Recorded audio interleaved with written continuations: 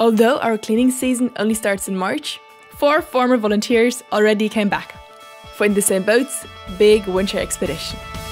Hi, I'm Nina. My name is Vivian. My name is Tone. Hello, I'm Anna. I worked for In the Same Boat in 2020 and 21 and uh, now I'm back on the boat uh, to help to raise awareness uh, for plastic pollution and climate change. Yeah, now we are in Svolvær in Lofoten talking to schools and others that are willing to hear about what we as an organization are doing, cleaning plastic. The goal of this mission spreading awareness. Now the goal is one to raise awareness because in addition to cleaning the coast, the most important thing is for big corporations to understand that they have their role to play into reducing marine litter. And we do that by creating content, by sharing stories on what we found. We have currently four posts in the making.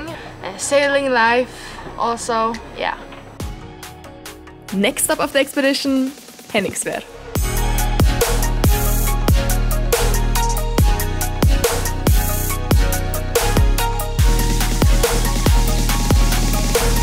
The sailing is amazing, I really love it. It's very new for me to to discover Norway in winter. The weather is much more uh, stormy, much more snowy. It's it's, uh, it's very um, very impressive when you're not used to it. And uh, it's also fun to learn all of the stuff like how to steer the boat, working with the ropes. When it's a storm, then you have to secure everything, tighten every rope, every fender.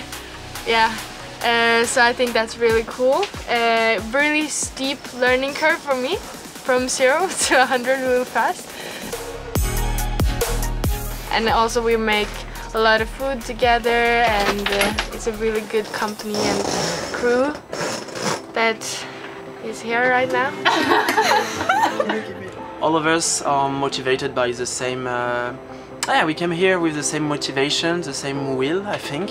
For me personally, to be back, it's very exciting. Uh, when you work in sustainability, you are often confronted with very upsetting topics, and marine litter is definitely one of them. However, coming back here after three years and seeing the amazing progress that have been made is, uh, is really warming my heart, I have to say. It is thanks to our tireless long-term volunteers that keep coming back, their commitment and drive that allow us to embark on our seventh year of beach cleaning. We are well prepared and can't wait to kick off the cleaning season in 2023.